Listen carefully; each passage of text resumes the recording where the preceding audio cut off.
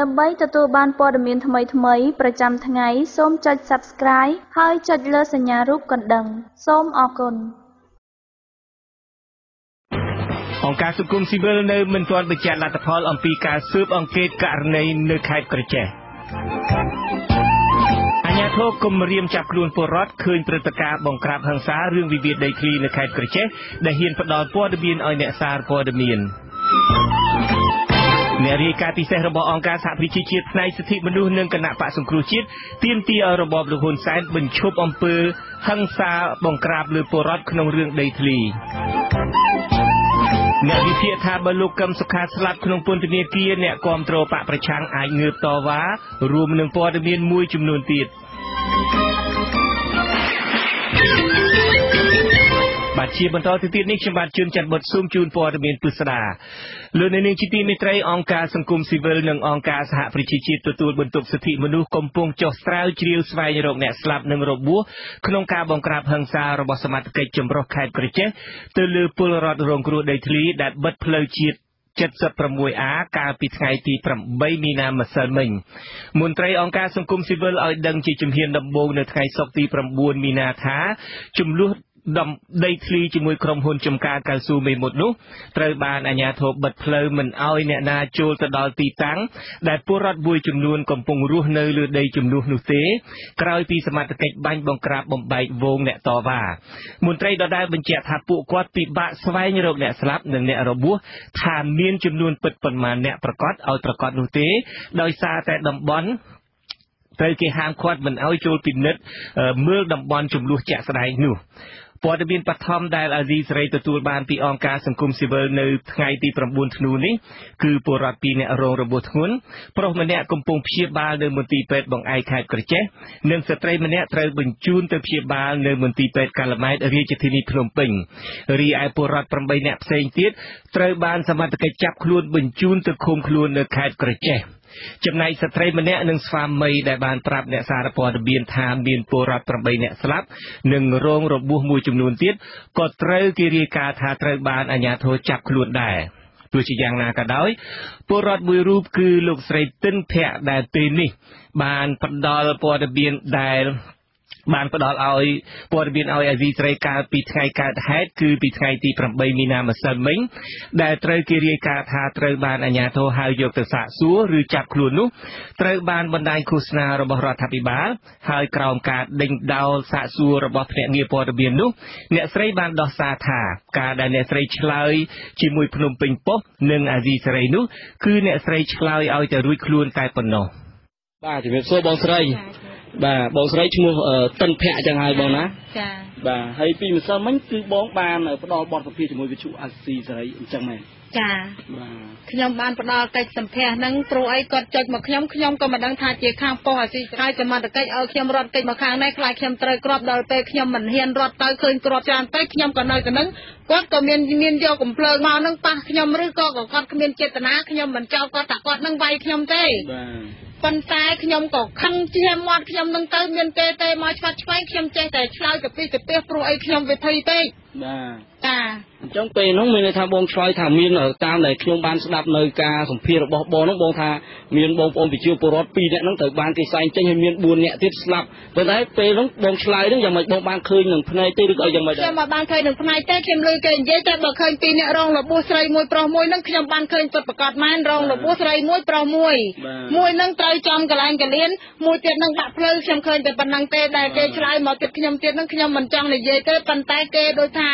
ពេលមកដដែលដដែលទេខ្ញុំឆ្លើយឲ្យរួចខ្លួនខ្ញុំរត់ឲ្យដល់ផ្ទះតាន់បាទតាមរយៈភ្នាក់ងារព័ត៌មាននេះអ្នកស្រីទិនភ័ក្រក៏ឆ្លៀតឱកាសស៊ូមទោសនៅអ្វីដែលអ្នកស្រីថាបានធ្វើខុសខ្ញុំខុសប៉ុន្តែខ្ញុំខុសខ្ញុំមកជួបបងខ្ញុំមិនមែនខុសនឹងខ្ញុំរត់តិចទេខ្ញុំឲ្យពូបងនឹងជួយឲ្យខ្ញុំផងព្រោះខ្ញុំខុសរត់តិចទេខ្ញុំឲ្យពូបងនឹងជួយឲ្យខ្ញុំផងព្រោះខ្ញុំខុសហើយខ្ញុំមិនអាចដាក់ត្រឹមត្រូវទេ ខ្ញុំលើកម្រាមដៃ10សំណុំពរទាំងអស់កុំឲ្យខឹងខ្ញុំអីព្រោះអីខ្ញុំមកនឹងខ្ញុំមកសម្រួលដែលខ្ញុំខុសព្រោះអីខ្ញុំបាននិយាយខុសហើយលើកឡើងទៅឲ្យខ្ញុំផងខ្ញុំគ្មានអីទេខ្ញុំសូមជួយឲ្យបងប្អូននឹងមេត្តាជួយខ្ញុំផងខ្ញុំខុសហើយ ហើយចឹងយើងបញ្ជាក់មកវិញគឺថាអឺអ្វីដែលបងបានឆ្លើយជាមួយវិទ្យុអាស៊ីសេរីហ្នឹងគឺថាឆ្លើយទាំងកំហឹងមិនបានឃើញកំលហឹះងទេចាខ្ញុំឆ្លើយទាំងកំហឹងទេព្រោះអីខ្ញុំឈាមមាត់ហើយអាលេអាឡាផងហើយណាមួយខ្ញុំអោបតូនផងខ្ញុំធ្លាក់ដៅណាំភ្លោះផងបានពូបងមួយទាហាននោះដឹកដៃរត់ទៅខាងនោះក៏ខ្ញុំថាខ្ញុំមិនទៅទេខ្ញុំខ្លាចត្រូវគ្រាប់កថាអីទេចាំខ្ញុំជួយការពារឲ្យគាត់ក៏និយាយយ៉ាងដែរបើពួកឈុតខ្មៅនោះមកខឹងនឹងខឹងនឹងខ្ញុំនឹងខឹងខ្ញុំមិនរត់គេចពីក្របកភ្លើងទេ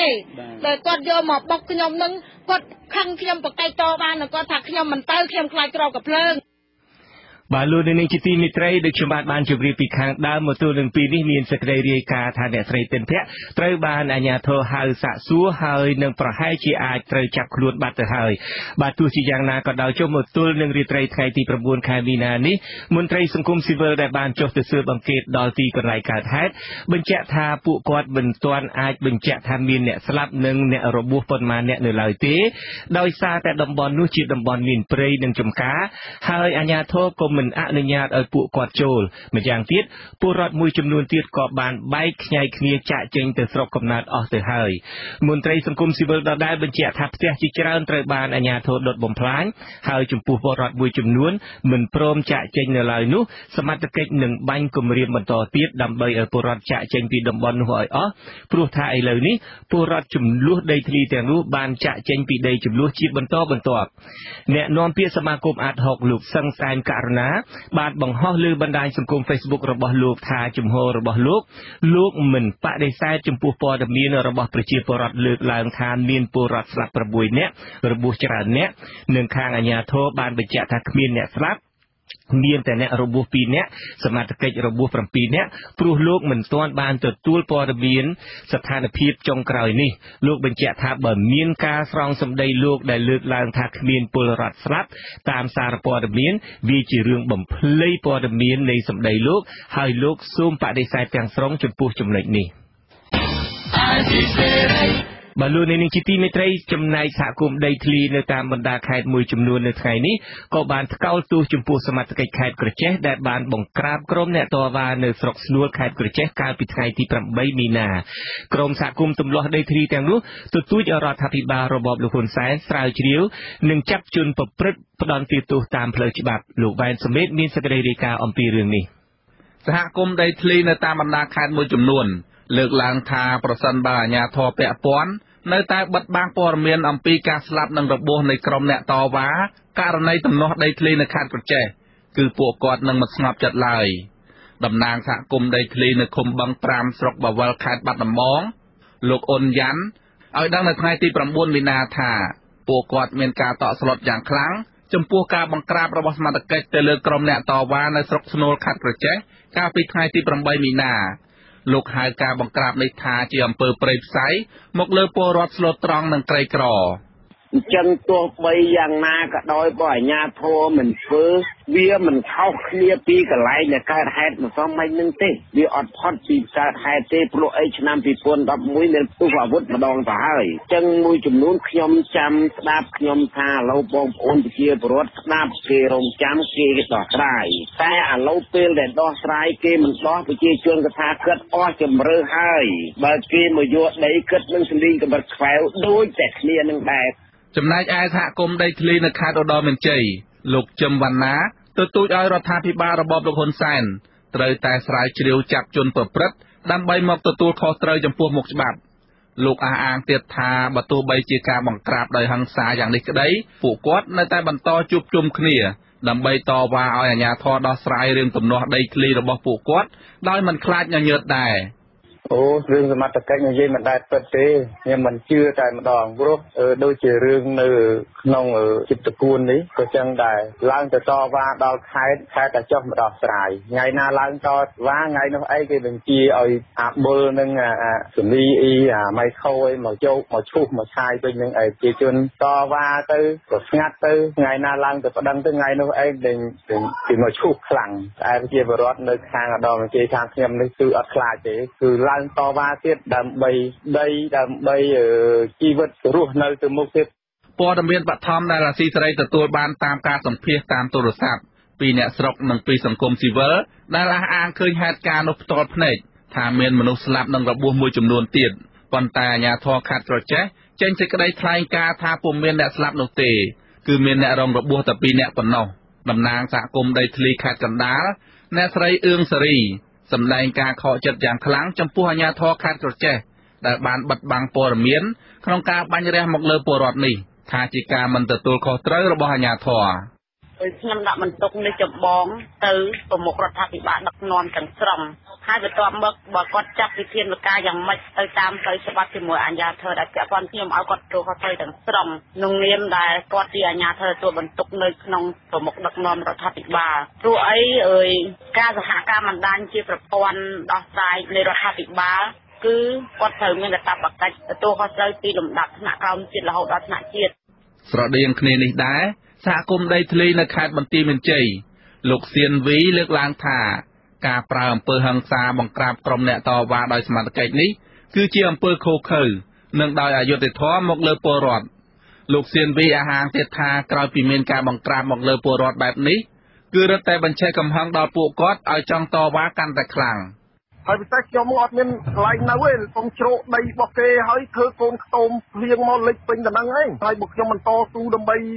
នេះចុះកូនចៅខ្ញុំហើយការរៀនសូត្ររបស់គ្នាក៏វាតាមឪខ្វះខាតកូនចៅក៏រៀនទៅបានចេះដឹងគេដែរអាហ្នឹងអញ្ចឹងលោកគ្រូហើយបើយើងមិនតស៊ូដើម្បីកូនចៅយើងទេដើម្បីអីទេហើយយើងបើសំថ្ងៃប្រទេសយើងវិជាថាបតៃយើងថាខ្លាចខ្លាចយើងចេះតែខ្លាចពេកក៏វាមិនកើតទេអាហ្នឹង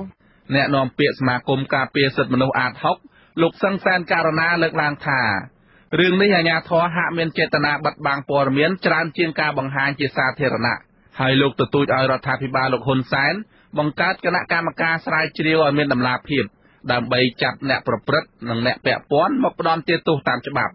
តើការបាញ់នឹងវាត្រឹមត្រូវទេ ការបើកការបាញ់បោះនឹងត្រឹមត្រូវដែរទេហើយវាសមស្របទេដែលប្រើប្រាស់កម្លាំងប្រដាប់អាវុធយើងមើលឃើញទៅដូចជាយោធាផងហើយទៅ ប្រើកំភ្លើងទៅការពារក្នុងហេតុការណ៍អស់ហ្នឹងហើយយើងឃើញហើយថាការប្រើប្រាស់ហ្នឹងវានីតិវិធីផ្លូវច្បាប់វាដល់ដំណាក់កាលប្រើប្រាស់អាវុធហើយនៅមន្ត្រីសង្គមស៊ីវិលរូបនេះអះអាងទៀតថាប្រសិនបើរបបលោកហ៊ុនសែនមិនស្រាវជ្រាវចាប់ជនប្រព្រឹត្តមកផ្ដន់ទាទោសឲ្យមានតម្លាភាពទេ គឺរឿងនេះមិនស្ងប់ឡើយព្រោះសហគមន៍ដីធ្លីនៅតាមបណ្ដាខេត្តអាចនឹងផ្ទុះកំហឹង ហើយអាចនឹងមានការតវ៉ាបង្កចលាចលនៅទូទាំងប្រទេសនៅថ្ងៃខាងមុខ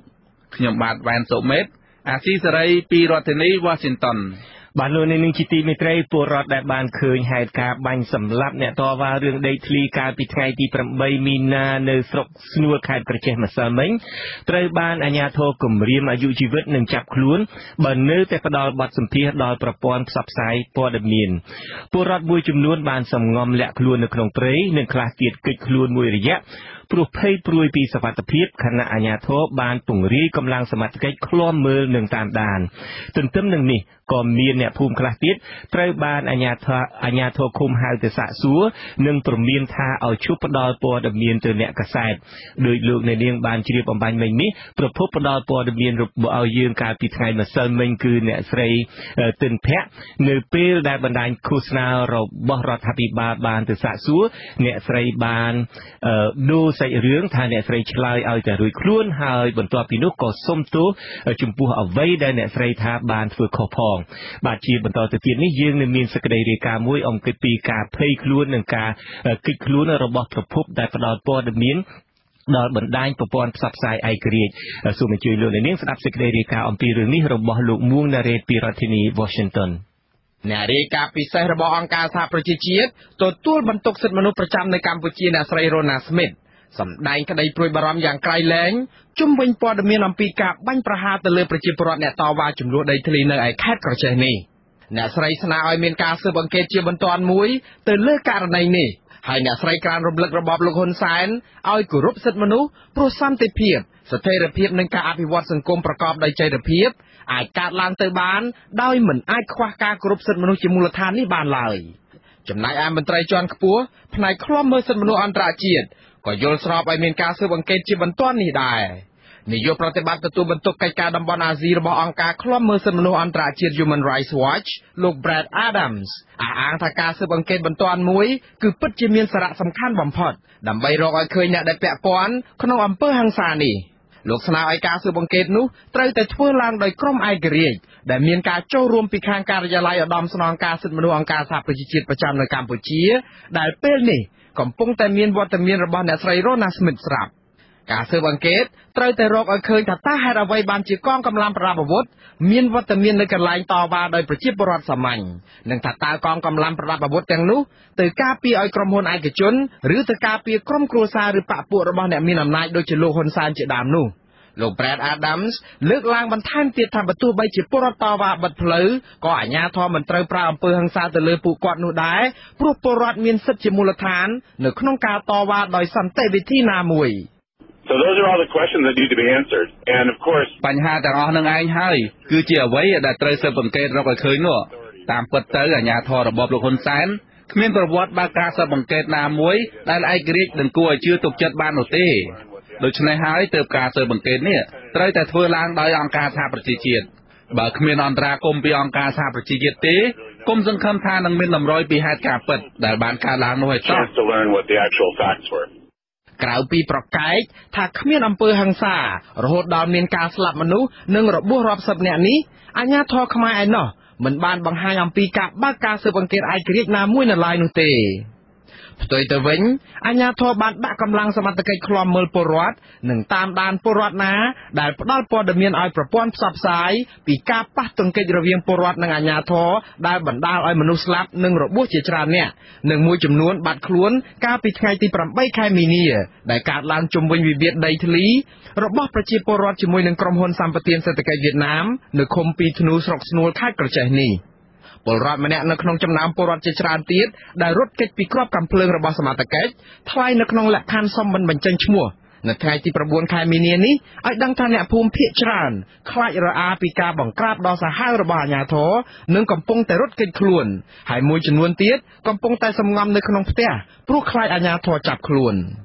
ពលរដ្ឋដដែលរូបនេះបានបញ្ជាក់ទៀតថាមកទល់ពេលនេះផ្ទះប្រជាពលរដ្ឋប្រមាណ200ខ្នង ត្រូវអាជ្ញាធរដុតកំទេចចោលដោយលើកហេតុផលថាប្រជាពលរដ្ឋសាងសង់លំនៅឋានទាំងនេះនៅលើដីរបស់ក្រុមហ៊ុនវៀតណាមទោះជាយ៉ាងនេះក្តីពលរដ្ឋរូបនេះបដិសេធមិនផ្ដល់ព័ត៌មានដល់អាស៊ីសេរីពីតួលេខនៃអ្នកស្លាប់និងរបួសនោះទេព្រោះបារម្ភខ្លាចអាជ្ញាធរចាប់ខ្លួននិងធ្វើទុកបុកម្នេញមកលើរូបគាត់ បើកាលណាដែលខ្ញុំមានទឹកបាត់កំភះនឹងទៀតខ្ញុំមិនដឹងតែងាប់មិនដឹងតែរស់បើសិនតែយកខ្ញុំទៅដាក់កន្លែងទឹកនារីថាឲ្យខ្ញុំមានទឹកនារីឆ្លើយឲ្យត្រូវរួចមួយម៉ាត់គ្រក់មួយម៉ាត់មួយគ្រាប់ឲ្យខ្ញុំឆ្លើយទៅក៏ខ្ញុំឆ្លើយត្រូវដែរទោះជាយ៉ាងនេះក្តីសាក់សីដែលឃើញហេតុការណ៍បាញ់ប្រហារនេះបានប្រាប់អាស៊ីសេរីកាលពីយប់ថ្ងៃទី8មីនាថាការបង្ក្រាបនោះបានបណ្ដាលឲ្យប្រជាពលរដ្ឋស្លាប់និងរងរបួសមួយចំនួនទៀត។ ក្រុមហ៊ុនដែលទទួលបានដីសម្បត្តិសេដ្ឋកិច្ចពីរដ្ឋាភិបាលឈ្មោះចំការកៅស៊ូមេមុតរបស់កូនស្រីលោកនាយរដ្ឋមន្ត្រីហ៊ុនសែនគឺអ្នកស្រីហ៊ុនម៉ាណាទទួលសិទ្ធិវិនិយោគដាំដំណាំឧស្សាហកម្មកៅស៊ូចាប់តាំងពីឆ្នាំ2008នៅលើផ្ទៃដីជិត10000ហិកតានៅក្នុងស្រុកស្នួលខេត្តក្រចេះសម្រាប់កិច្ចសន្យារយៈពេល50ឆ្នាំក៏ប៉ុន្តែក្រុមហ៊ុននេះបានផ្ទេរសិទ្ធិឲ្យក្រុមហ៊ុនវៀតណាមគ្រប់គ្រងវិញកាលពីឆ្នាំ2015កន្លងទៅនេះ។ មុនឆ្នាំ2005ដីសម្បត្តិសេដ្ឋកិច្ចមេមត់គឺជាតំបន់ដែនជម្រកសត្វព្រៃស្រុកស្នួលលាតសន្ធឹងនៅលើផ្ទៃដីចំនួនជាង10000ហិកតានៅក្នុងស្រុកស្នួលខេត្តក្រចេះជាប់ព្រំប្រទល់ជាប់ព្រំប្រទល់ខេត្តមណ្ឌលគិរីតំបន់នោះសម្បូរដោយព្រៃស្រោងនិងជាជម្រកសត្វកម្ររស់នៅតែនៅគ្រាដែលមានវត្តមានក្រុមហ៊ុនកូនស្រីលោកហ៊ុនសែនតំបន់នោះ បានคล้ายទៅជាជំរកអាជីវកម្មឈើដ៏កក្រើកបង្កឲ្យព្រៃរលាយទាំងស្រុងហើយបច្ចុប្បន្នគ្រប់គ្រងដោយក្រុមហ៊ុនវៀតណាមនិងមានដាំដំណាំកៅស៊ូសាលាខេត្តក្រចេះកាលពីថ្ងៃទី8ខែមីនា បានចេញសេចក្តីប្រកាសព័ត៌មានថាគ្មានមនុស្សស្លាប់នៅក្នុងការប៉ះទង្គិចគ្នារវាងអាជ្ញាធរនិងពលរដ្ឋនោះទេ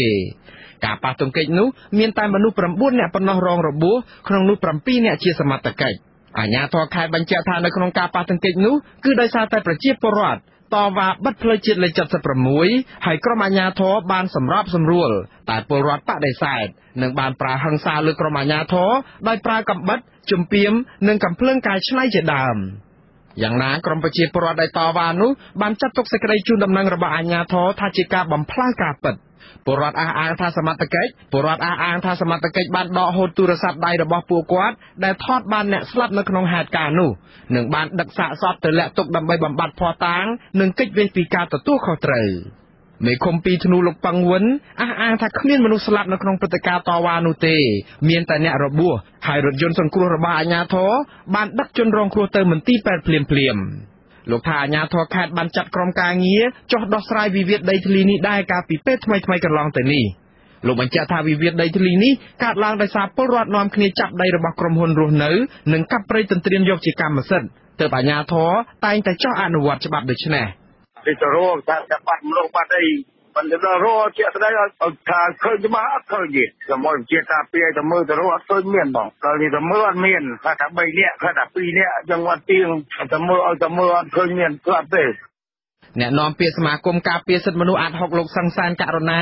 ប្រាប់ថាសមាគមអាត់ហុក ក៏ពុំទាន់រកឃើញតួលេខនៃអ្នកស្លាប់និងអ្នករបួសនៅក្នុងការប៉ះទង្គិចគ្នានេះនៅឡើយដែរ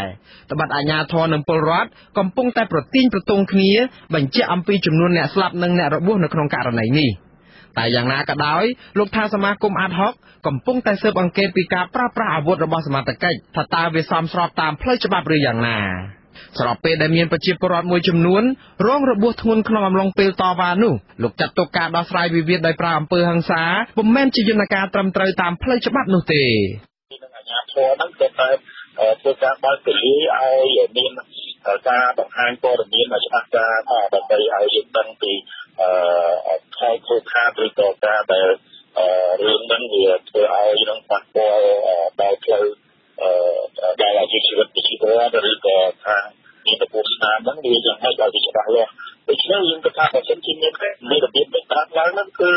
ខុសទៅពីច្បាប់អញ្ចឹងគួរទៅចាត់វិធានការដើម្បីឲ្យពួកគាត់នឹងអឺរៀនសារឬក៏ឲ្យសកម្មភាពបែបហ្នឹងកុំឲ្យកើតមាននៅក្នុងប្រទេសកម្ពុជាទៀតព្រោះយើងគិតថាការប្រើប្រាស់ហិង្សាមិនមែនជាមធ្យោបាយដោះស្រាយទេ ទោះជាយ៉ាងណាក៏ដោយក្រមប្រជាពលរដ្ឋប្រតិកម្មទៅនឹងប្រព័ន្ធឃោសនារបស់លោកហ៊ុនសែនដែលថាក្រមប្រជាពលរដ្ឋប្រើកំភ្លើងឆ្នៃកំបិតដំបង និងចំពាមកៅស៊ូជាដើមតដៃជាមួយសមត្ថកិច្ចដែលប្រជាពលរដ្ឋចាត់ទុកការចោទដូចនេះថាគឺជារឿងមិនពិតទេ គឺសមត្ថកិច្ចបានយកកំភ្លើងបាញ់រះមកលើប្រជាពលរដ្ឋមុនទើបពលរដ្ឋទាញដុំថ្មចំពាមកៅស៊ូនិងដំបង ដើម្បីការពារខ្លួនតែប៉ុណ្ណោះខ្ញុំបាទមូណារ៉េតអាស៊ីសេរីរដ្ឋធានី Washington បាទលោកនាងជាទីមេត្រីអ្វីត្បិតតែពេលនេះបេសកកម្មស្វែងរកការពិតរបស់យើងជួបប្រទះការលំបាកដោយប្រភពនានាទទួលការគំរាមកំហែងដោយដែលលោកបានលោកនាងបានជ្រាបហើយប្រភពដែលប្រាប់យើងពីម្សិលមិញថាគាត់បានឃើញគេដឹកសពចេញផ្ទាល់គាត់បានទៅអូសសាកសពផ្ទាល់ដែលមានប្រុស6នាក់ហើយបូកជាមួយនឹងការដែលគេបានដឹកចេញប្រុសម្នាក់ស្រីម្នាក់ផងនោះដែលមានចំនួនស្លាប់រហូតដល់8នាក់នោះពេលនេះនៅពេលដែលបណ្ដាញផ្សព្វផ្សាយរបស់រដ្ឋាភិបាលបានសាកសួរហើយបន្ទាប់ពីអាជ្ញាធរបានហៅសាកសួរគាត់បាននិយាយសុំទោសទៅវិញចំពោះអ្វីដែលគាត់ថាបាននិយាយខុសបាននិយាយឲ្យទៅរួចខ្លួនហើយនឹងសុំទោសចំពោះអ្វីដែលគាត់បានធ្វើខុសក៏ប៉ុន្តែយ៉ាងណាក៏ដោយចុះការពិតនៅតែជាការពិតយើងនឹងបន្តទៅទៀតខិតខំបន្តទៅទៀតនៅពេលដែលយើងមានព័ត៌មានថ្មីថ្មីទៀតដែលអាចបញ្ជាក់ការពិតបានយើងក៏នឹងរាយការណ៍ជូនលោកនាងជាបន្តបន្ទាប់បាទលោកនាងជាទីមេត្រីតកតងទៅនឹងព្រឹត្តិការណ៍បាញ់សម្លាប់អ្នកតវ៉ារឿងដីធ្លីនេះដែរគណៈបកសង្គ្រោះជាតិកោតទោសដាច់អហង្ការចំពោះកងកម្លាំងប្រដាប់អាវុធដែលបានបង្ក្រាបយ៉ាងឃោឃៅទៅលើប្រជាពលរដ្ឋស្លូតត្រង់និងចាប់ខ្លួនជាច្រើនអ្នកកាលពីរសៀលថ្ងៃទី8មីនាម្សិលមិញសេចក្តីថ្លែងការណ៍ផ្សាយនៅថ្ងៃទី9មីនានេះបន្តថាការប្រើប្រាស់អាវុធបាញ់រះយ៉ាងព្រៃផ្សៃទៅលើប្រជាពលរដ្ឋដែលគ្រាន់តែទាមទាររកដំណោះស្រាយបញ្ហាដីធ្លីរបស់ពួកគាត់នេះគឺជាអំពើអក្រិតមិនអាចអត់ឱនបានឡើយគណៈបកសង្គ្រោះជាតិសូមអំពាវនាវដល់របបរបស់លោកហ៊ុនសែនបើការស៊ើបអង្កេតជាបន្ទាន់ដែលមានការចូលរួមពីអង្គការសង្គមស៊ីវិលឯករាជ្យដើម្បីស្វែងរកជនដៃដល់និងអ្នកបញ្ជាទៅផ្ដន់ទោសតាមច្បាប់ ហើយនឹងដោះលែងប្រជាពលរដ្ឋជាបន្ទាន់និងដោយឥតលក្ខខណ្ឌបន្ថែមពីលើនេះគណៈបកសង្គ្រោះជាតិស្នើឲ្យក្រមសមត្ថកិច្ចបញ្ឈប់ជាបន្ទាន់រាល់ការប្រើអំពើហិង្សាទៅលើពលរដ្ឋស្លូតត្រង់និងដកយកហូតដីសម្បទានពីក្រុមហ៊ុនទាំងនោះចែកជូនពលរដ្ឋក្រីក្រវិញបាទលោកនាងជាទីមេត្រីមកទល់នឹងរាត្រីថ្ងៃទី9ខែមីនានេះមន្ត្រីសង្គមស៊ីវិលដែលបានចុះទៅស៊ើបអង្កេតដល់ទីកន្លែងកើតហេតុបញ្ជាក់ថាពួកគាត់នៅមិនទាន់អាចបញ្ជាក់ថាមានអ្នកស្លាប់និងអ្នករបួសប៉ុន្មានអ្នកនៅឡើយទេ ដោយសារតែតំបន់នោះជាតំបន់ដែលមានព្រៃនិងចំការ ហើយម្យ៉ាងទៀតអាជ្ញាធរមិនអនុញ្ញាតឲ្យពួកគាត់ចូល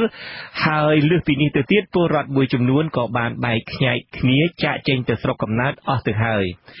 បាទតកតងក្នុងរឿងនេះដែរគណៈបកប្រជាធិបតេយ្យមូលដ្ឋានហៅកាត់ថា GDP ក៏បានសម្ដែងការសោកស្ដាយចំពោះព្រឹត្តិការណ៍បាញ់សម្លាប់ប្រជាពលរដ្ឋនៅស្រុកស្រុកស្នួលខេត្តក្រចេះក្នុងរឿងចំនួនដីធ្លីដ៏រ៉ាំរ៉ៃមួយនេះក្នុងសេចក្តីថ្លែងការណ៍ថ្ងៃទី9មីនានេះគណៈបកប្រជាធិបតេយ្យមូលដ្ឋានសូមប្រកាសថ្កោលទោសចំពោះអំពើហិង្សានិងការប្រើប្រាស់កាំភ្លើងដើម្បីដោះស្រាយបញ្ហាក្នុងវិបត្តិដីធ្លីទន្ទឹមនឹងនេះគណៈបកប្រជាធិបតេយ្យមូលដ្ឋានទាមទារឲ្យមានការស៊ើបអង្កេតជាបន្ទាន់ដោយយុត្តិធម៌និងតម្លាភាពដោយមានការចូលរួមពីគ្រប់ភាគីជាពិសេសគឺសង្គមស៊ីវិលនិងបណ្ដាញព័ត៌មានមិនតែប៉ុណ្ណោះគណៈបកមួយនេះក៏ទាមទារឲ្យអ្នកតំណាងរាស្ត្រមណ្ឌលក្រចេះត្រូវចេញមុខដោះស្រាយបញ្ហានេះជូនប្រជាពលរដ្ឋជាម្ចាស់ឆ្នោតថែមទៀតផង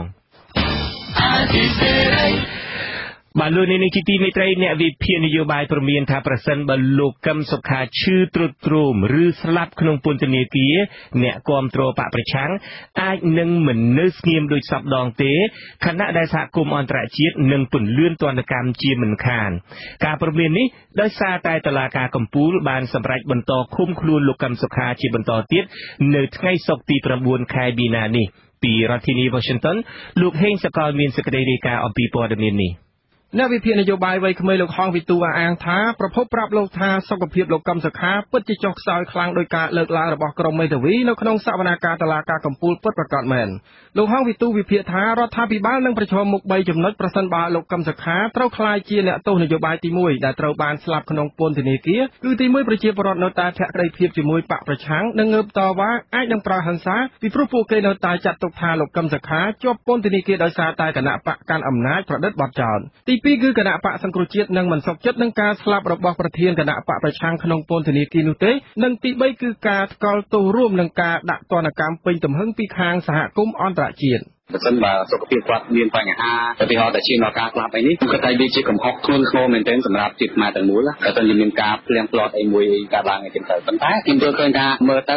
ស្ថានភាពនៃរដ្ឋាភិបាលប្រហែលជាមិនអាចទុកឲ្យលោកគឹមសុខាមានបញ្ហាបើសិនបើលោកគឹមសុខាមានបញ្ហាតែរហូតដល់ណាស់ស្លាប់ឬក៏បាត់បង់ជីវិតឬក៏ធ្លាក់ខ្លួនឈឺក្នុងការនោះដែលធ្ងន់ធ្ងរគឺអ្នកដែលពិបាកបំផុតគឺរដ្ឋាភិបាលទៅវិញបាទនៅព្រឹកថ្ងៃទី9មីនាអនុប្រធានតុលាការកំពូលលោកខឹមពុនជាមន្ត្រីជាន់ខ្ពស់គណៈបកប្រជាជនកម្ពុជាបានបដិសេធសំណើសុំនៅក្រៅឃុំរបស់ក្រុមមេធាវីការពារក្តីលោកកឹមសុខាបើទោះបីជាក្រុមមេធាវីអះអាងថាសុខភាពកូនក្តីមានបញ្ហាទ្រុឌទ្រោមខ្លាំងអាចឈានដល់គ្រោះថ្នាក់ដល់អាយុជីវិតក៏ដោយថ្លែងនៅក្នុងសវនាការលោកច័ន្ទជេងមេធាវីម្នាក់ក្នុងចំណោមមេធាវីការពារក្តីទាំង7នាក់របស់លោកកឹមសុខាត្រូវបានភ្នំពេញប៉ុស្តិ៍ដកស្រង់សម្ដីថាប្រសិនបើលោកកឹមសុខាត្រូវបានស្លាប់ក្នុងពន្ធនាគារប្រវត្តិសាស្ត្រនឹងចារក្រោយរបបខ្មែរក្រហមមានអ្នកទោសនយោបាយដំបូងស្លាប់ក្នុងពន្ធនាគារតើនរណាជាអ្នកទទួលខុសត្រូវសវនាការដែលគ្មានវត្តមានលោកកឹមសុខាត្រូវបានក្រុមមេធាវីទទូចឲ្យមានការអនុញ្ញាតឲ្យលោកកឹមសុខាបានទៅព្យាបាលជំងឺព្រោះលោកមានជំងឺ3ប្រភេទប្រចាំកាយគឺជំងឺលើសឈាមទឹកនោមផ្អែមនិងជំងឺគៀបសរសៃ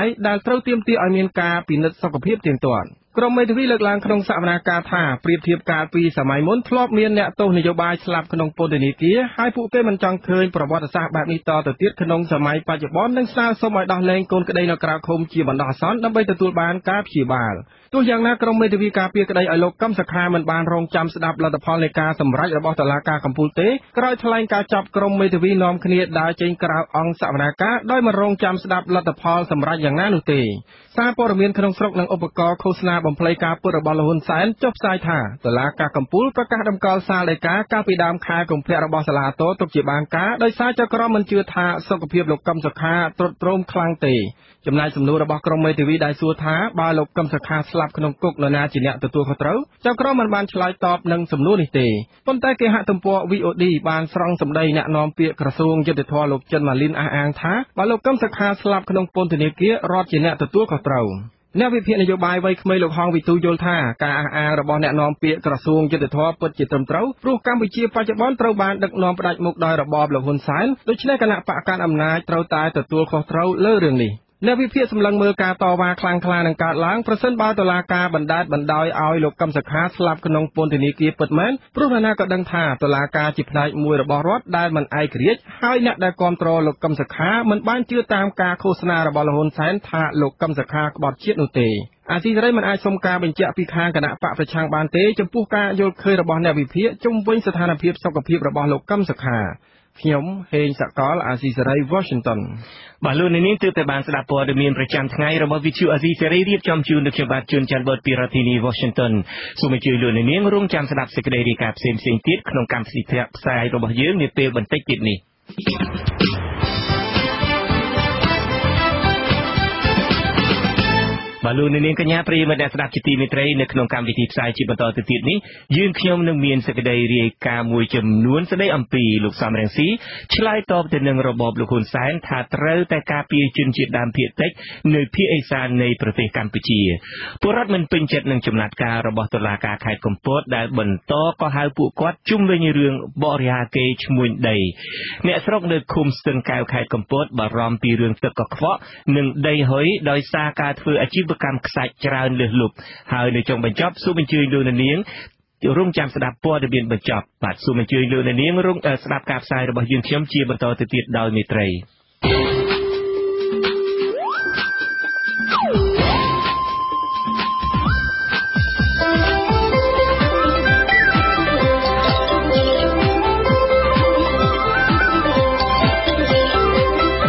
សេចក្តីរាយការណ៍ពិស្ដា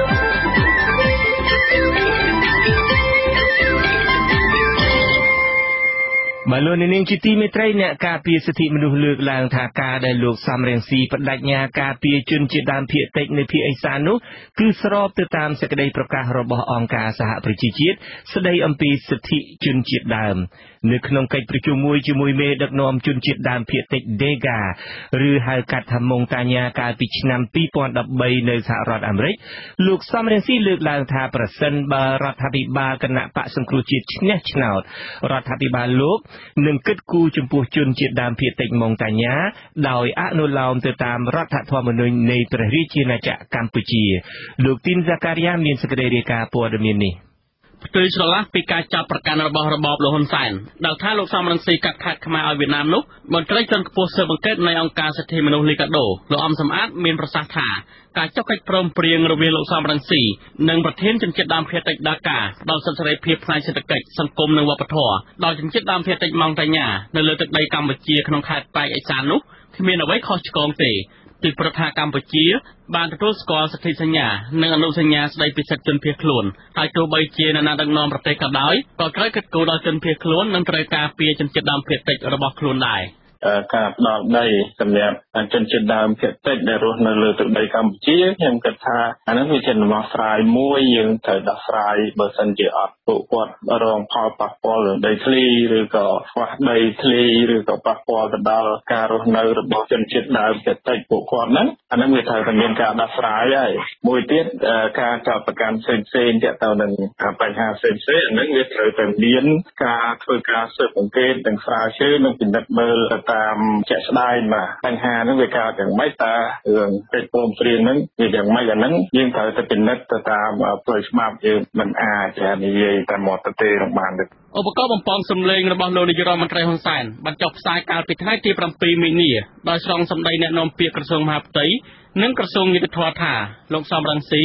បានប្រព្រឹត្តអំពើក្បត់ជាតិដោយហ៊ានកាត់ខែនមួយចំនួននៅប៉ៃអេសានឲ្យវៀតណាមគ្រប់គ្រង នៅពេលគណៈបកសង្គ្រោះជាតិឈ្នះឆ្នោតគឺខេត្តមណ្ឌលគិរីរតនគិរីក្រចេះនិងខេត្តស្ទឹងត្រែងអ្នកនាំពាក្យក្រសួងមហាផ្ទៃលោកខៀវសុភ័ក្រនិងអ្នកនាំពាក្យក្រសួងយុទ្ធភ័ពលោកកឹមសន្តិភាពចាត់លោកសំរងស៊ីថាបានប្រព្រឹត្តទង្វើក្បត់ជាតិហើយប្រឈមនឹងការកាត់ទោសឲ្យជាប់ពន្ធនាគារអស់មួយជីវិតហើយថាក្រសួងទាំងពីរកំពុងចាត់ការលើរឿងនេះ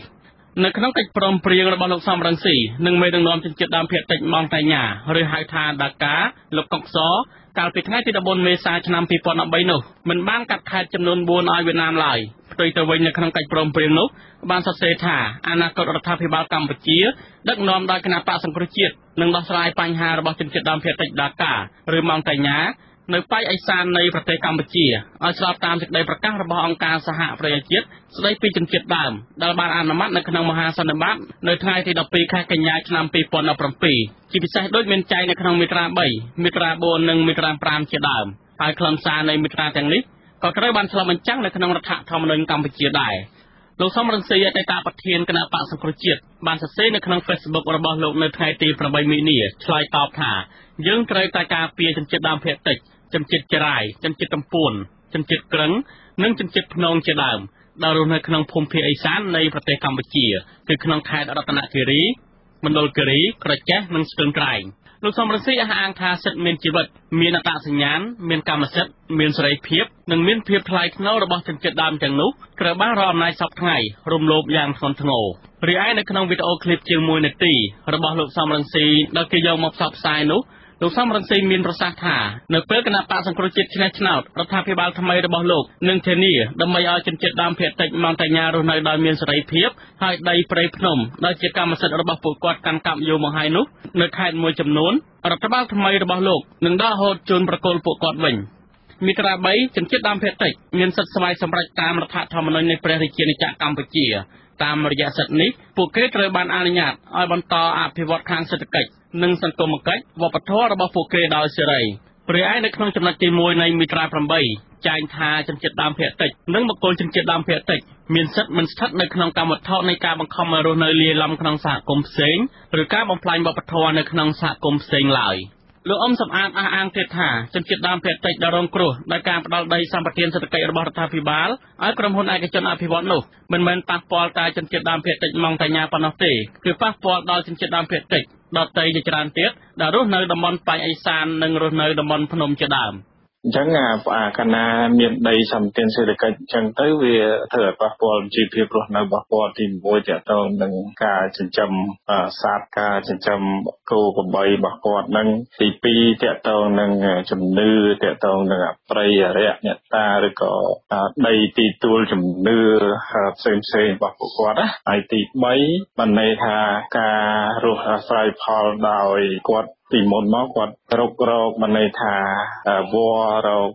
ផ្ដៅរកអីផ្សេងផ្សេងនៅក្នុងព្រៃឬក៏ឃុំឬអីផ្សេងផ្សេងហ្នឹងគាត់ត្រូវបាត់បង់ជនជាតិដើមភាគតិចម៉ង់តាញ៉ាមួយចំនួនបានភៀសខ្លួនមកតាំងទីលំនៅក្នុងប្រទេសកម្ពុជាជាយូរមកហើយនៅក្នុងខេត្តភាគឦសាននៃប្រទេសកម្ពុជាហើយបានបង្កបង្កើនផលតាមទំនៀមទម្លាប់មិនខុសពីជនជាតិដើមភាគតិចដទៃទៀតនៅកម្ពុជាឡើយចំពោះម៉ង់តាញ៉ាទើបរត់តិចពីអាញាធរវៀតណាមចាប់ខ្លួននោះ បានមករកទីសុវត្ថិភាពនៅកម្ពុជាជាបន្តបន្ទាប់ក៏ប៉ុន្តែត្រូវបានអាជ្ញាធរកម្ពុជាចាប់បញ្ជូនទៅវៀតណាមវិញជាបន្តបន្ទាប់ដែរអង្គការឃ្លាំមើលសិទ្ធិមនុស្សអន្តរជាតិ Human Rights Watch អំពាវនាវរបបលហ៊ុនសែនបញ្ចប់ការគំរាមកំហែងតាមរយៈការចាប់បញ្ជូនដោយបង្ខំជនជាតិដើមភាគតិចម៉ង់តាញ៉ាទៅកាន់ប្រទេសវៀតណាមវិញ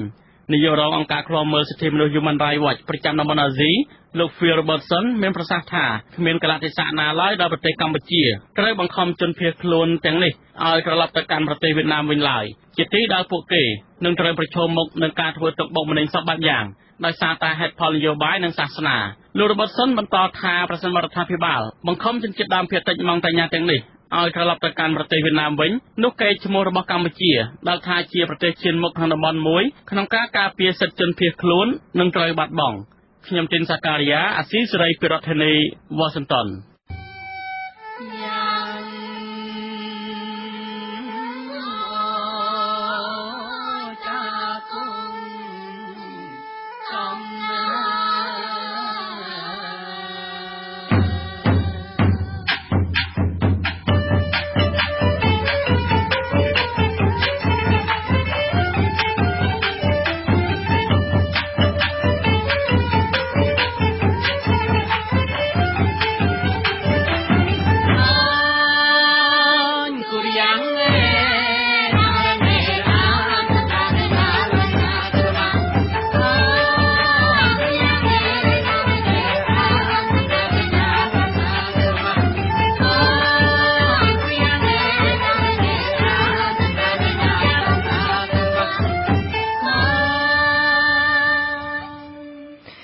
លោកនាងជាទីមេត្រីប្រជាពលរដ្ឋមានទំនាស់ដីធ្លីនៅឃុំត្រពាំងភ្លាំងស្រុកឈូកខេត្តកំពត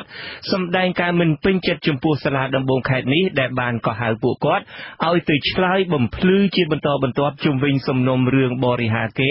ប្តឹងដោយឈ្មួញទិញដីម្នាក់ ពួកគាត់ទទូចឲ្យតុលាការខេត្តកំពតទម្លាក់ចោលបណ្ដឹងបរិហាគេរបស់បុគ្គលមានអំណាចនោះចោល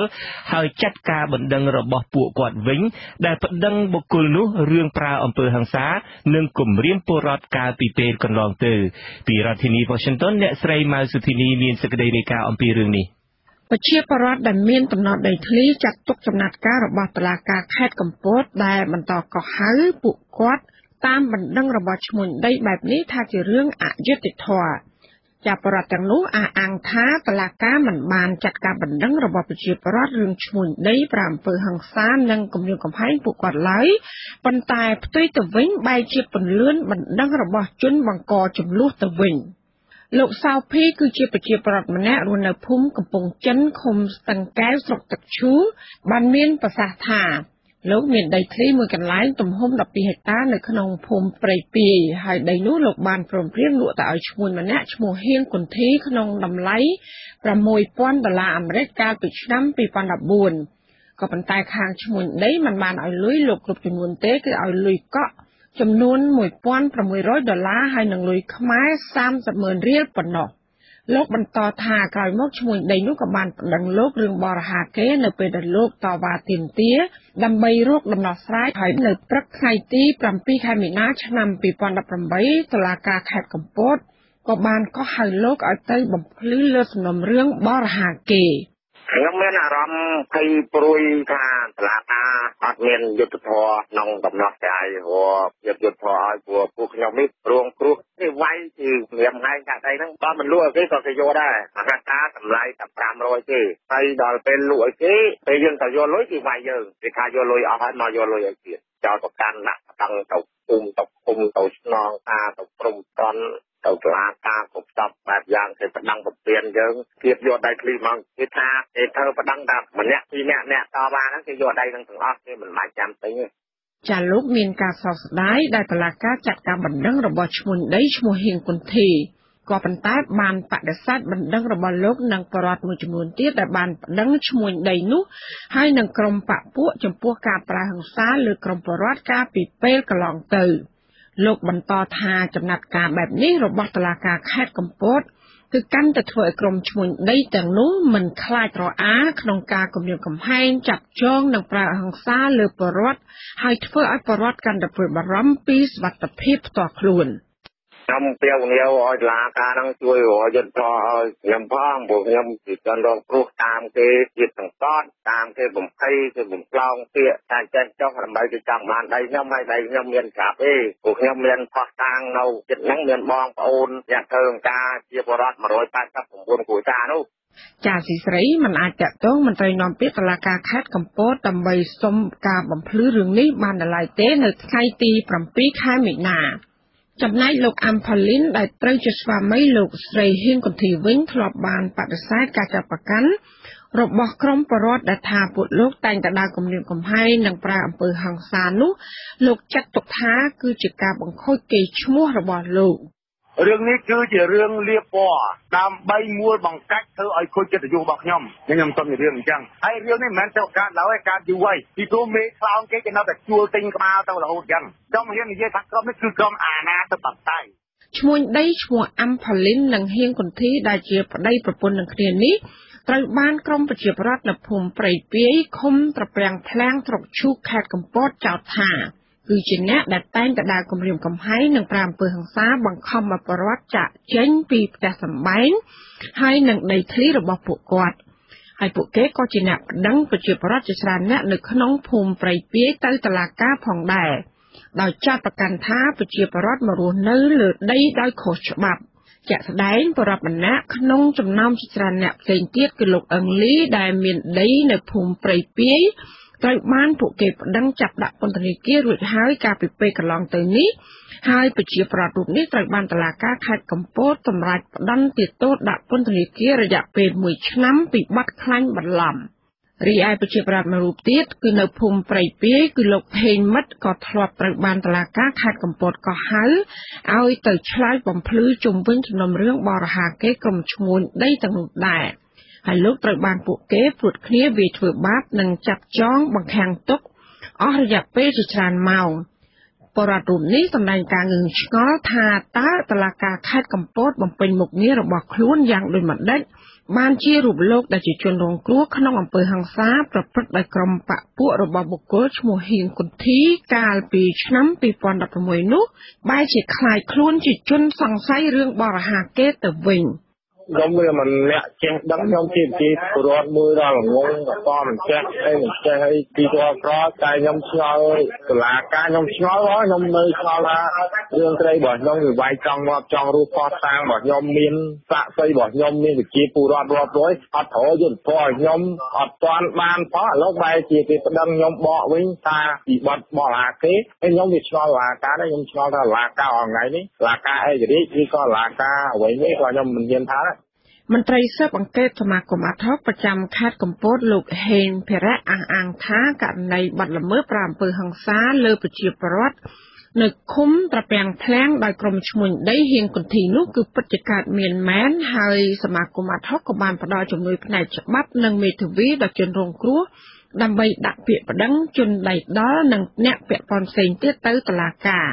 ក៏ប៉ុន្តែមិនឃើញតុលាការខេត្តកំពតរកចិត្តយុត្តិធម៌ជូនជនរងគ្រោះនោះឡើយ។ ផ្ទុយទៅវិញតឡាការបែរជាចាត់ការពាក្យបណ្ដឹងជាបន្តបន្ទាប់របស់ក្រុមឈ្មួញដីទាំងនោះហើយទង្វើនេះលោកចាត់ថាគឺជាការបំបាក់ស្មារតីរបស់ប្រជាពលរដ្ឋក្នុងការទាមទារសិទ្ធិដីធ្លីដែលពួកគាត់ធ្លាប់កាន់កាប់និងបង្កបង្កើនផលជាយូរមកហើយ ហើយកំពុងរងចាំការផ្ដាល់ប័ណ្ណកម្មសិទ្ធិពីរដ្ឋ ក្នុងនាមសង្គមស៊ីវិលយើងចង់ឃើញការដោះស្រាយឬក៏ចំណាត់ការរឿងហ្នឹងឲ្យវារលូនមិនថាជាពលរដ្ឋឬក៏អ្នកមានអ្នកមានអំណាចទេដោះស្រាយឲ្យបានលឿនដូចគ្នាហើយផ្ដល់យុត្តិធម៌ឲ្យបានដូចដូចគ្នាអាហ្នឹងហើយវាជាចំណាត់ការល្អហើយប្រទេសយើងមាននីតិរដ្ឋហើយបើសិនជាដោះស្រាយជូនតែទៅលើអ្នកមានអ្នកមានប្រាក់ហើយចំណែកឯប្រជាពលរដ្ឋវិញអត់មានយុត្តិធម៌ឬក៏ត្រូវបានចាប់ដាក់គុកដាក់ច្បាប់អីនេះអានេះយើងមើលឃើញថាវាការយុត្តិធម៌សម្រាប់ប្រជាពលរដ្ឋខ្លាំង ឃុំត្រពាំងឃ្លាំងនិងឃុំតេជោអភិវឌ្ឍស្រុកឈូកគឺជាតំបន់ដែលមានទំនាស់ដីធ្លីក្តៅគគុកនិងខ្លាំងជាងគេនៅក្នុងខេត្តកំពត ហើយទំនាស់នោះសុទ្ធសឹងជាករណីរ៉ាំរ៉ៃដែលអូសបន្លាយពេលជាច្រើនឆ្នាំមកហើយអំពើហិង្សានិងការគំរាមកំហែងតែងតែកើតមានឡើងជាញឹកញាប់នៅតំបន់នោះរួមមានការដុតបំផ្លាញផ្ទះសម្បែងការឈូសឆាយបំផ្លាញផលដំណាំ ការប្រាអំពើហិង្សាលើគ្នាទៅវិញទៅមក រវាងប្រជាប្រដ្ឋនិងភាគីក្រុមហ៊ុនឬក៏ឈ្មួញដីហើយនឹងការប្តឹងផ្តល់គ្នាទៅតុលាការជាដើម ចា៎នាងខ្ញុំម៉ៅសុធានី អាស៊ីស្រីពីរដ្ឋធានី Washington thank you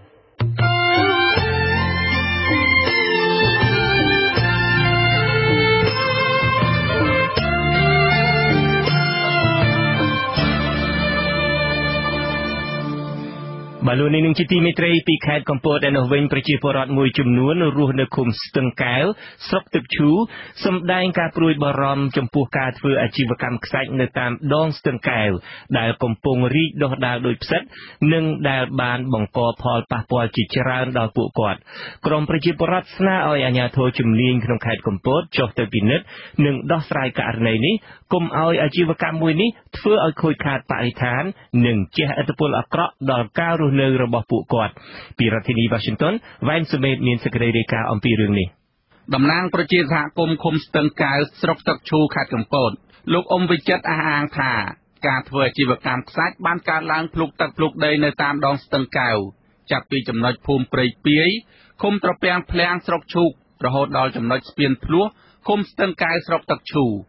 លោកបញ្ជាក់ថាយ៉ាងហោចណាស់មានការដ្ឋានបូមខ្សាច់ជិត20កន្លែងនៅតាមដងស្ទឹងចម្ងាយ9គីឡូម៉ែត្រនេះលោកបន្តថាការដ្ឋានបូមខ្សាច់មួយចំនួន ជាទីតាំងធ្វើអាជីវកម្មចាស់កើតមានជាច្រើនឆ្នាំមកហើយក៏ប៉ុន្តែទើបតែនៅឆ្នាំ2017ប៉ុណ្ណោះដែលមានការដ្ឋានថ្មីជាច្រើនកន្លែងទៀតបានកើតឡើង លោកបញ្ជាក់ថាការធ្វើអាជីវកម្មខ្សាច់នោះបានបង្កផលប៉ះពាល់ជាច្រើនដល់សុខភាពសុវត្ថិភាព និងការរស់នៅរបស់ពលរដ្ឋ មានដូចជាទឹកស្ទឹងប្រែជាល្អប្រើលែងកើតធូលីហុយបង្កឡើងដោយឡានដឹកសាច់និងការបាក់ច្រាំងតាមមាត់ស្ទឹងជាដើមអបញ្ហាផលប៉ះពាល់ទី1ដែលយើងឃើញជាក់ស្ដែងគឺបញ្ហាទឹកល្អក់អញ្ចឹងមិនអាចប្រើប្រាស់បានរាល់ការក្រោយសពទៅលើផលដំណាំនិងជីវិតសត្វមនុស្សអីមិនអាចប្រើប្រាស់ទឹកនោះបានទេចំណុចទីគឺប្រឈមនឹងការបាក់ច្រាំងដែលជាយថាហេតុដូចថាមិនដូចការគ្រោងទុកណាដោយផលដំណាំប៉ះពាល់ដីធ្លីរបស់ជាបរដ្ឋហើយនឹងគុយខាតផលប្រយោជន៍សាធារណៈសុវត្ថិភាពសន្តិសុខសង្គមដែរមួយទៀតសុវត្ថិភាពផ្លូវនិងសុវត្ថិភាពចំពោះសិស្សដែលទៅសាលាបាទដោយតែបង្កដីហុយប៉ះពាល់សុខភាពទៅលោកអ៊ំវិចិត្រថ្លែងបន្តថាផលប៉ះពាល់ទាំងនេះកើតឡើងពេញមួយរដូវប្រាំងជាពិសេសចាប់ពីខែកុម្ភៈដល់ចុងខែមេសា ដែលជាពេលវេលាក្តៅហួតហែងនិងខ្សត់ភ្លៀងលោកប៉ាន់ស្មានថាពលរដ្ឋដែលរងផលប៉ះពាល់ដោយការធ្វើអាជីវកម្មខ្សាច់នៅតាមដងស្ទឹងកែវនេះមានចំនួន9ភូមិស្ថិតក្នុងឃុំថ្មីឃុំព្រែកថ្នង និងឃុំស្ទឹងកែវស្រុកទឹកឈូសរុបមិនតិចជាង1000គ្រួសារនោះទេតំណាងប្រជាសហគមន៍រូបនេះអំពាវនាវដល់មន្ទីរជំនាញរ៉ែនិងធម្មពលខេត្តកំពតឲ្យចុះពិនិត្យនិងដោះស្រាយបញ្ហានេះហើយបើអាចទៅរួច លោកស្នើឲ្យបញ្ឈប់អាជីវកម្មខ្សាច់នេះតែម្ដង ដើម្បីសុខុមាលភាពរបស់ប្រជាពលរដ្ឋខ្ញុំចង់ឲ្យក្រសួងរ៉ែនិងធម្មពលនឹងពិនិត្យឲ្យបានច្បាស់លាស់ពីផលប៉ះពាល់នៃការបូមនិងពិនិត្យផ្នែកច្បាប់ពាក់ព័ន្ធនឹងការធ្វើអាជីវកម្មខ្សាច់នេះឲ្យបានត្រឹមត្រូវមុននឹងអនុញ្ញាតឲ្យបងប្អូនយកជាជាងនឹងការមានផលប៉ះពាល់ដល់សុខភាពសុខភាពរបស់សង្គមណាបាទឆ្លើយតបនឹងបញ្ហានេះមេឃុំស្ទឹងកែវលោកប្រាក់សមឿន បញ្ជាក់យ៉ាងខ្លីថាលោកបានរាយការណ៍ករណីនេះទៅខាងមន្ទីររ៉ែនិងធម្មពលរួចរាល់ហើយ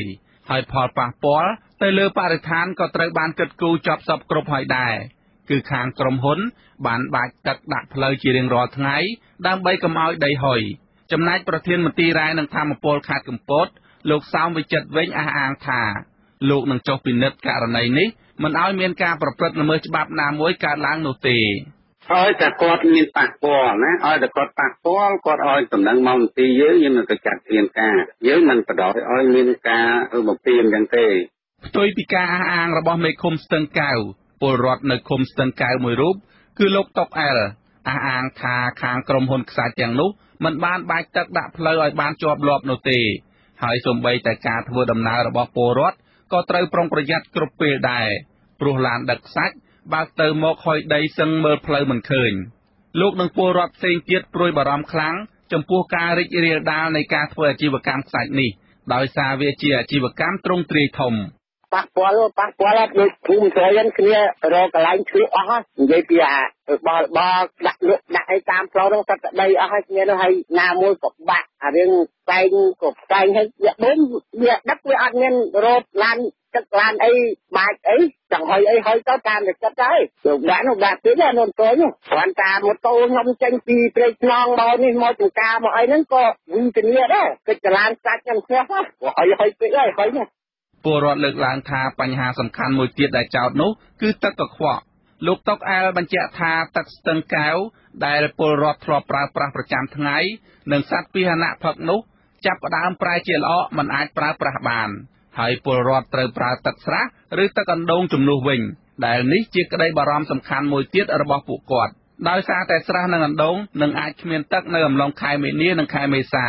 ព្រោះអាកាសធាតុក្តៅហួតហែងខ្លាំង។ ឥឡូវហ្នឹងវាគ្រាន់តែងូតហ្នឹងអត់ចង់កើតទេប៉ះពាល់មិនមែនប៉ះពាល់តិចទេគឺទៅមកពូមិនផងតាំងពីវត្តទៅដល់ឲ្យតែនៅក្រោមស្ទឹងគឺធ្វើអត់កើតមកនៅពីក្រោមគេបូមហ្នឹងអត់កន្លែងអត់មានទឹកទេគឺវល់ហ្មងឥឡូវវានៅទឹកក្រានច្រើននេះដល់តិចទៀតវាទឹកកាន់តែតិចរឹតតែយ៉ាប់ទៀតតាមទៅគឺនៅក្រោមយ៉ាប់ចង់យំគ្នាដឹកទឹកទឹកច្រាក់ផឹកដល់រីផ្លាស់លូកអស់ហើយគ្នាពូមិនផងមន្ត្រីអង្គការសមាគមអាត6ខេត្តកំពត លោកហេងភិរៈថ្លែងថាការលើកឡើងនឹងការព្រួយបារម្ភរបស់ប្រជាពលរដ្ឋនៅឃុំស្ទឹងកែវនោះគឺជារឿងពិតជាក់ស្ដែង ដែលអាជ្ញាធរត្រូវគិតគូរដោះស្រាយលោកសង្កេតឃើញថាទឹកស្ទឹងកែវអាចប្រែជាល្អក់និងមានកំទេចកំទីផង ដែលមិនអាចឲ្យពលរដ្ឋប្រើប្រាស់បានដូចមុនទៀតឡើយចំណែកឯពលរដ្ឋរស់នៅតាមដងផ្លូវដែលមានឡានដឹកសាច់វិញគឺរងផលប៉ះពាល់ដោយសារធូលីដីហុយគ្រប់លំនៅឋានម្ហូបអាហារនិងសម្លៀកបំពាក់ ដែលជាការប្រឈមយ៉ាងខ្លាំងសម្រាប់សុខភាពរបស់ពួកគាត់មន្ត្រីអង្គការសង្គមស៊ីវិលរូបនេះស្នើឲ្យស្ថាប័នជំនាញចុះសិក្សានិងវិតម្លៃផលប៉ះពាល់បរិស្ថាន និងសង្គមឲ្យបានច្បាស់លាស់មុននឹងអនុញ្ញាតឲ្យក្រុមហ៊ុនឯកជន ធ្វើអាជីវកម្មទៅលើរ៉ែគ្រប់ប្រភេទ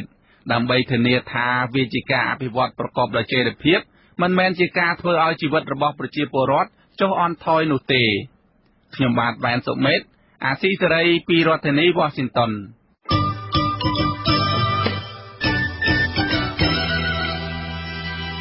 បាទលោកនាងជាទីមេត្រីអាស៊ីសេរីផ្ដល់ព័ត៌មានជាទីទុកចិត្តទាន់ហេតុការណ៍ដល់ប្រជាជនក្នុងប្រទេសតំបន់អាស៊ី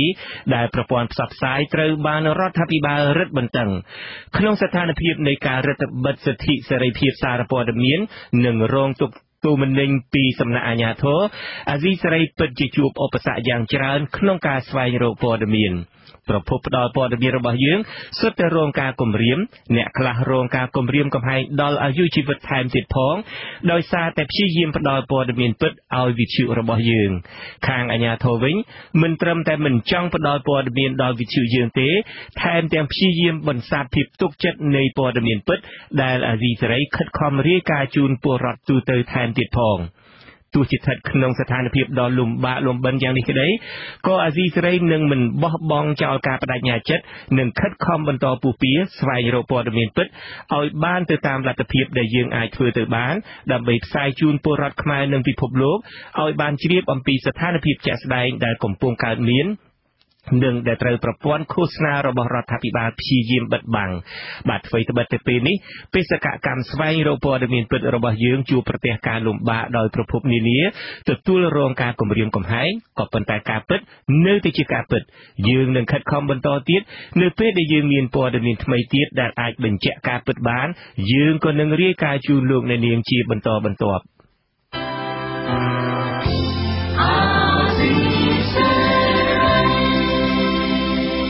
បាទជាបន្តទៅទៀតនេះសូមអញ្ជើញលោកអ្នកនាងស្ដាប់ព័ត៌មានបញ្ចប់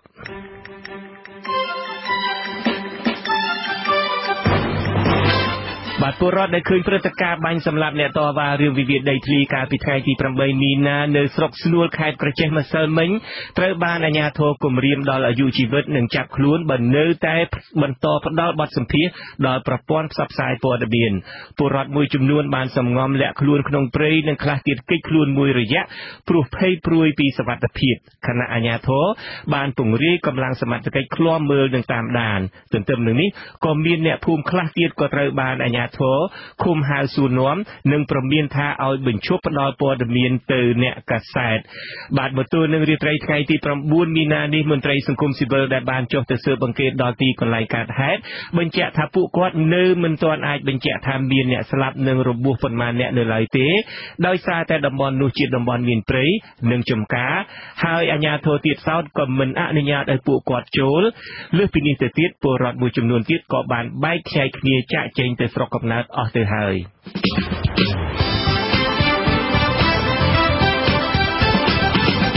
បាទលោកនាងកញ្ញាអ្នកស្ដាប់ជាទីមេត្រីកម្មវិធីផ្សាយរបស់អាស៊ីសេរីសម្រាប់រាត្រីថ្ងៃសុក្រនេះចប់តែត្រឹមនេះខ្ញុំបាទជួនច័ន្ទបុតព្រមទាំងក្រុមការងារនៃអាស៊ីសេរីសូមអរគុណលោកនាងនិងសូមជម្រាបលារាត្រីសួស្តី thank you